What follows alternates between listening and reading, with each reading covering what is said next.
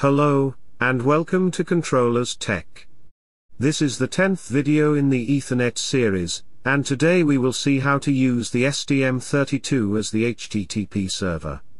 In today's video, I will create a very simple web server, which will use the GET method for the request, and then display the web pages accordingly. Later we will cover a more detailed server using the AJAX, but that will be in the upcoming videos. Let's start the Cube IDE, and create a new project. I am using the usual STM32F750 discovery board. Give some name to the project, and click Finish.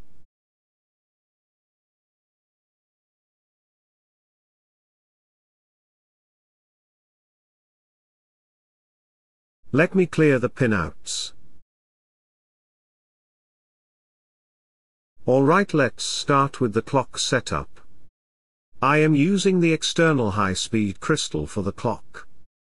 The board has 25 MHz crystal, and the system is running at 200 MHz. Alright now go to the Ethernet, and enable the type of connection you have. As I mentioned earlier, this board have RMII connection type.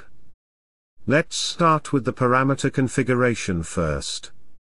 Since we are using the onboard connector, the PHY address must be 0. Also change the RX mode to the interrupt mode. When you do this, you can see the Ethernet interrupt is enabled. Finally do check the pinouts, and match it with the schematics of your board. Also make sure that the speed is set to maximum.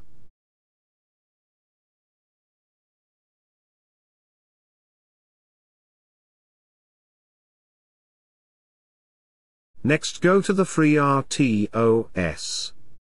I am enabling the version 2 of the CMSIS. No changes are needed to be made in the FreeRTOS. Just leave everything to default. You can see there is a default task created, and later the LWIP will use this task, so leave this too. I am enabling the new library reentrant, as it gives the error while generating the code. Now go to the LWIP. Here first of all we will disable the DHCP, and manually enter the IP address, subnet mask etc.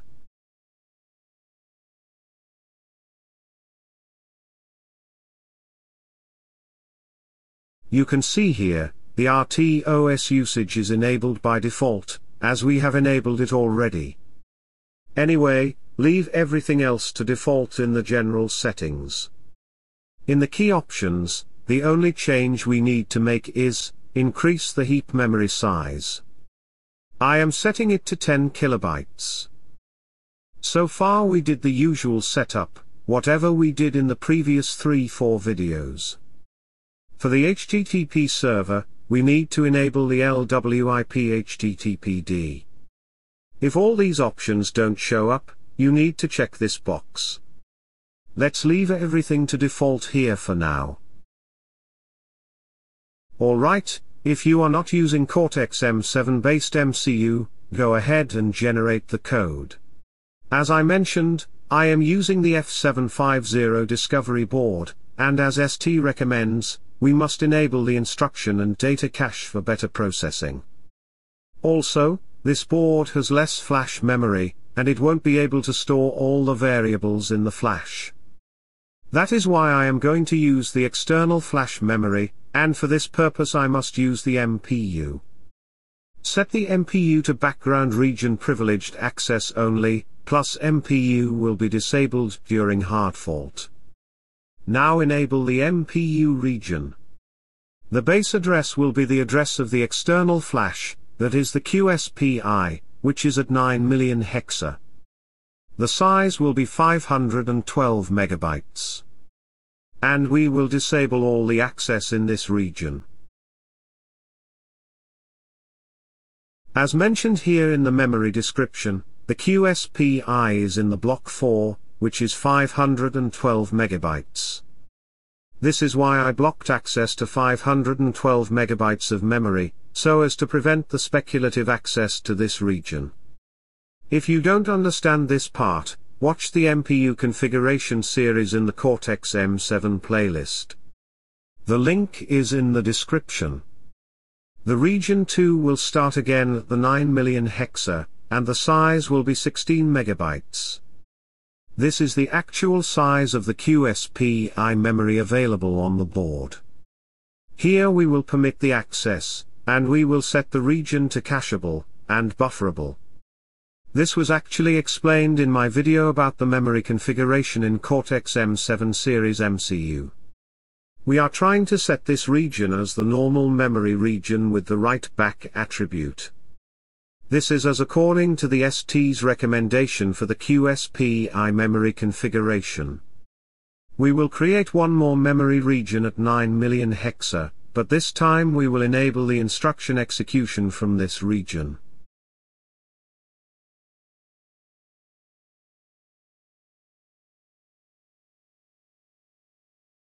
This is it for the MPU configuration for the external flash. Click Save to generate the code. Before we go any forward, let's build the code once. We will see a lot of errors, and we will resolve them one by one. Here we have the error about the fsdata custom.c file. The file is not present in the directory. Double-click the error to see where it occurred. Here we will go to the definition of the custom fs data, and set it to 0. So now we are not using the fs data custom file.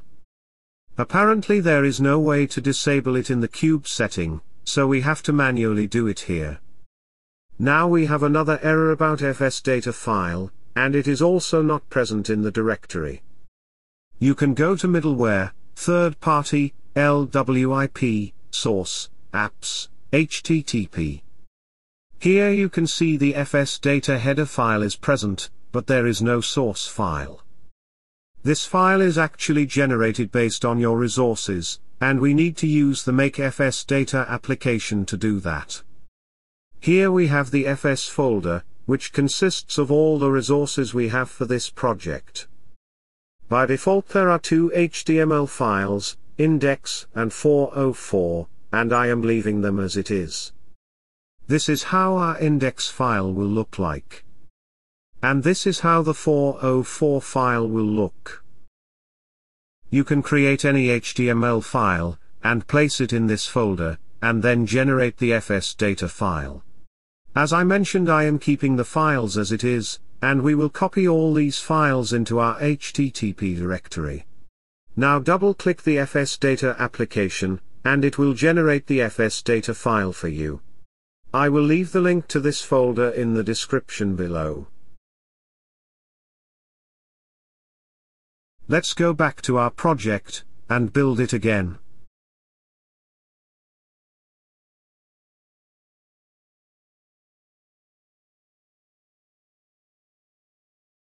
We have seven errors now, and most of them are about the multiple definitions. Now go to the fs data file we just created, and exclude it from the build.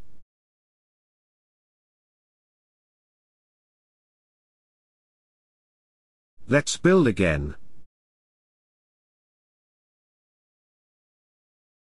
All the errors regarding the multiple definitions are gone now. This error about the flash overflow is specific to this board, as I mentioned that the flash has a low space, and this is why I configured the MPU for the external flash. Now I will set the flash to the external location, and this is done in the flash script file. If your board has enough flash memory, you don't need to do this. Alright there is one last error, and it is about the multiple definition of errno. Let's go to this location, middleware, third party, LWIP, system, OS, sysarch.c. Here just comment out the definition of errno. Alright, all the errors are gone now. Now since I have used the external flash, I need to relocate the vector table. Again this is specific to some boards, and if you did not set the external flash, you don't need to do this.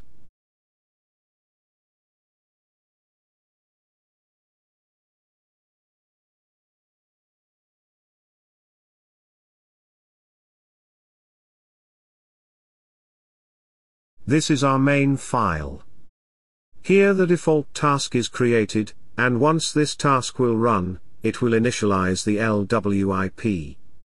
Alright everything is set now, and it's time to ping. Since I am using the external flash, I need to use the external loader in the debugger.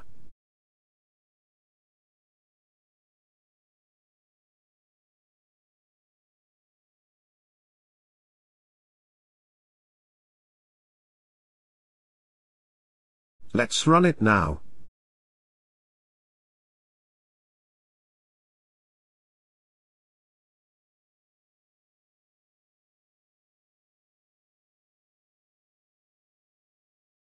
Now we will ping to our IP address. You can see the ping is successful, so everything seems okay so far, and we can proceed ahead with it. Let's include the library files now. Here I have the HTTP server source and header files. Put the source file in the source directory, and header file in the include directory. The HTTP server header file only has one function, HTTP server in it. Let's see its implementation in the source file. The HTTP server init creates a new HTTP thread, whose entry function is HTTP thread itself, the stack size is default, 1 kilobyte, and the priority is set to normal. Inside the HTTP thread, we will create a new netconn connection. The argument is netconn TCP, and it will create a new TCP connection. If the connection is created successfully, we will bind it to the local IP address. This is the same as the one we set in the CubeMX, and this will be the address of the server. The port of the server is set to 80. Once the binding is successful, we will put the server in the listen mode. Now the connection will listen for any client which is trying to connect to this server. Once the client connects to this server, we will accept the connection. The netconn accept takes two arguments. The first argument is the TCP connection, which is listening to the client. And the second argument is the pointer, where the new connection is going to store. Our TCP listening connection is con, and we will store the new connection in the new con. Both of them are defined in the beginning of the function. Once the client connection is accepted by the server, we will call the HTTP server to handle the requests made by this client. In the HTTP server, we will receive the requests made by the client. Netconn receive takes two arguments. The first is the connection, and the second is the netbuf structure, where the request data is going to store. Next we will check what request was made by the client, and to do that, we will first get the data pointer and its length from the netbuf structure. Netbuf data takes three arguments here. The first is the netbuf structure, where we want to get the data from. Next is the pointer, where you want to store the data pointer to. And at last is the pointer, where the length should be stored. So now the data pointer is stored in buff, and the length is stored in bufflen. Now we will compare the data in the data pointer to whatever requests you want to serve. For example, here I am checking if the client has requested the index.html. If it did, then we will open the file index.html. We will store the information about this file in the file structure. Now we will write this data to the connection. Netconn write takes four arguments. The connection, where the data is to be written. The data pointer, length of the data pointer, and the last one is the API flag. This API flag basically decides how the data will be written. For example the netconn copy will be used, if you want to copy the data into the memory belonging to the stack. Here we are using no copy, and it means the data will be simply written, without any conditions. After writing the data, we will close the file. So we served the request made by the client to get the index.html file.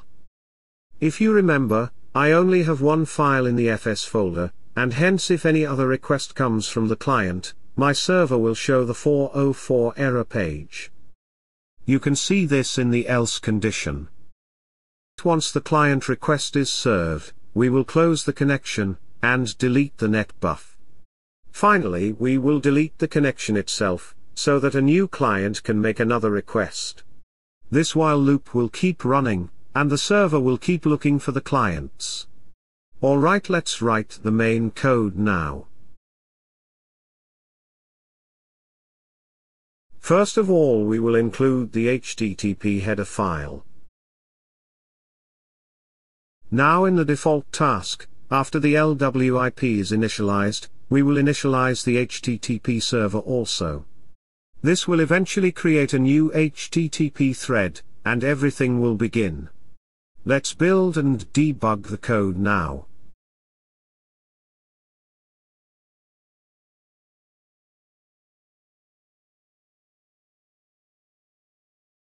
Let's open the index.html page. You can see the page is being displayed.